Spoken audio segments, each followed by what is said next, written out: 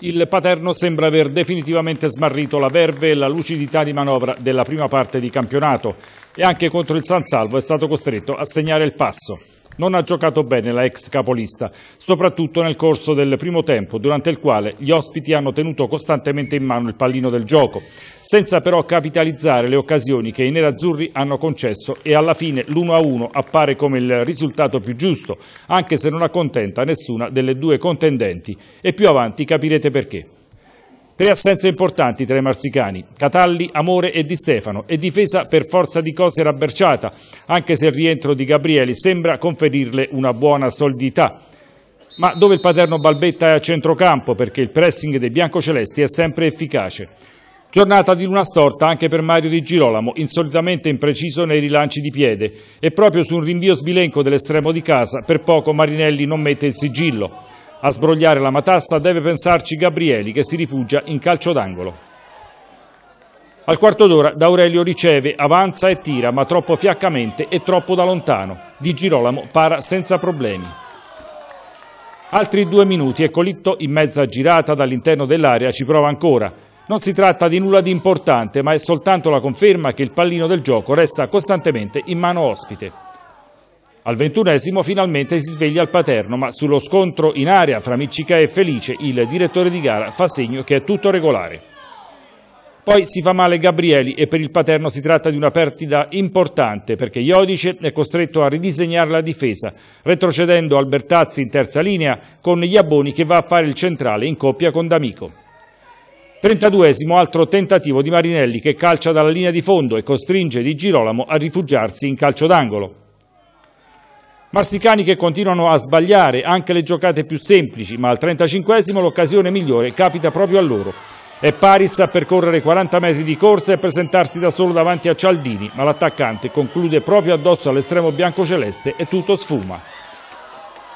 E per concludere vi mostriamo l'ennesimo errore del Paterno che in chiusura di tempo sta per regalare il vantaggio al San Salvo, ma Marinelli mette altro sopra la traversa.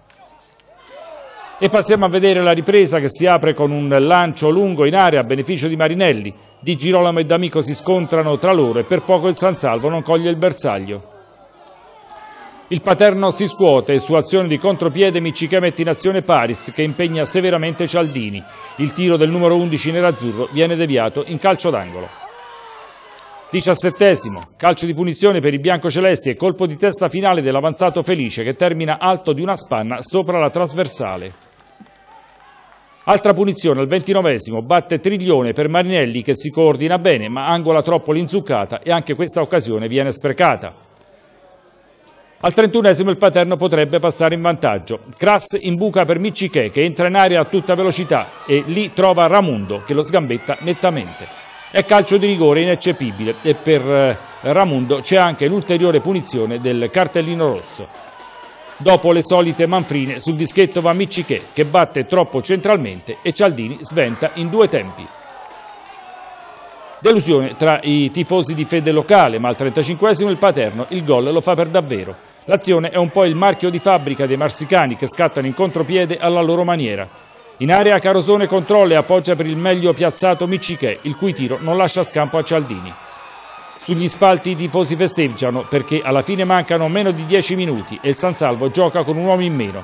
Ma al 42esimo arriva la doccia fredda. Il San Salvo tenta l'ultimo assalto e Marinelli mette in campo tutta la propria abilità e la propria astuzia, cercando il fallo che il Paterno contesta vivacemente ma senza ottenere nulla. La posizione è particolarmente invitante e Di Ruocco non sbaglia. Palonetto a scavalcare e Di Girolamo può solo guardare. La beffa è bella servita e al rientro negli spogliatoi la tensione si percepisce a naso. Un po' di tensione a fine partita perché il pareggio per 1-1 ha lasciato scontento sia il San Salvo che il Paterno. Paterno che nel primo tempo non ha giocato bene, anzi tutt'altro, che però nel secondo tempo ha avuto l'occasione per vincerla questa partita, al di là del calcio di rigore. Poi io dice che cosa è successo. Ma hai detto bene, il primo tempo non abbiamo fatto bene, eh, poi nel secondo tempo credo che poi il Paterno ha preso in mano la partita e, e sicuramente meritava, meritava, la vittoria. Poi sull'1-0 a tre minuti alla fine, non so, non ricordo, l'arbitro ha dato quella punizione al limite dell'aria, secondo me non inesistente, però purtroppo nelle ultime domeniche succede sempre questo, hanno fatto gol sull'1-1 e poi la partita è finita così. Ed è arrivato anche Rufini, un Rufini soddisfatto o insoddisfatto? Questo pareggio ho detto eh, in apertura che lascia scontenti un po' tutti, è così? Ma eh, io soddisfatto perché da, da, uomo di calcio guardo la prestazione della squadra e la prestazione è stata quasi perfetta per tutta la durata dell'incontro.